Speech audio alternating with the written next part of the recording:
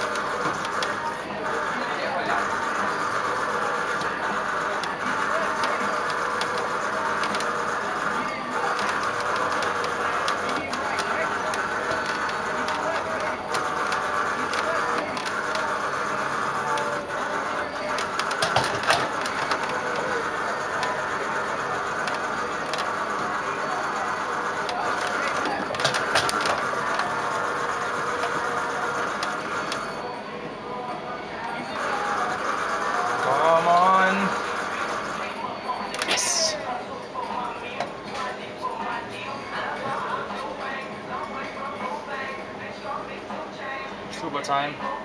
The third place goes to me.